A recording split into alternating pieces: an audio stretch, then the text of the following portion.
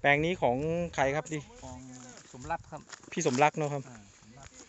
พี่สมรัก อันนี้แปลงนี้ใช้ยาตัวไหนไปครับ เมื่อกี้โคม่าแล้ว ก็คือสามสามตัวนะที่เอามาเซตตาเฮกโตครับโคม่านะครับอ่าสามตัวนี่นะ อ๋อใช้เหมือนกันหมดใช้ใช้หมดเลยถูกไหมครับครับส่วนมากก็คือเขาใช้ไอ้นั่นไปก่อนเดี๋ยวกระป๋องน่ะอ๋อเฮกโตนำก่อนแล้วก็เฮกตาเนาะ แล้วก็เซตตาแล้วก็โคม่าครับผมตัวนั้นส่วนมากถ้า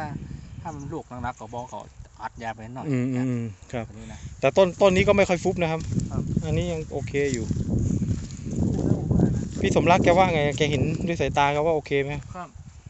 เขาก็อู้กันนะหมูเดียวกันนะว่าเฮ้ยยานี่ดีเว้ยเนาะอ๋อ เพราะว่าเขามาใจอย่างอย่างอื่นมามาพอ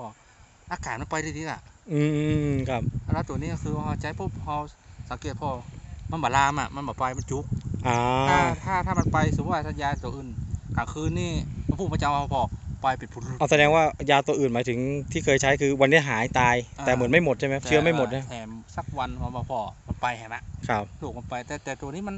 ดื้ออยู่อย่างเก่าอะครับผมคือว่ามันไปอะ อืมก็คือเชื้อตายแบบครับเๆตายนานเลยพอฉีดตัวนี้หน่อยฉีดตัวนี้หน่อยครับมันก็จะไปละอะมันก็อยู่อย่างเก่าอะอืมส่วนมากถ้าเป็นยาตัวอื่นปุ๊บครับมันจะไปเลยอะไปไปไปไปอ๋อมันยังลามไปเรื่อยๆไปนะไปไปว่าเข้าเข้าเหลือแล้วก็จะยะ อ๋อมันมันจะเหี่ยวไปเรื่อยๆใช่ไหมครับไอ้นี่หยุดอันนี้หยุดอืมเขาฉีดเขาฉีดเขารู้เลยว่าสมมติว่าฉีดวันนี้นี่เนาะครับ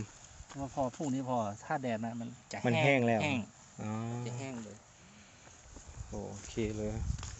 นี่คือโรคโรคเนี่ยโรคต้นเน่าใบเน่าเนี่ยคือหนักที่สุดแล้วที่ไม่ชาวสวนมันฝรั่งกันนะครับ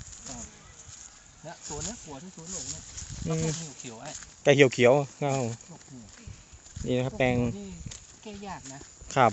โอ้เป็นอาจจะเป็นที่พันธุ์เดียวนะครับ นี่นะครับ แปลงของพี่สมรักครับอำเภอเพียงป่าเป้าครับผม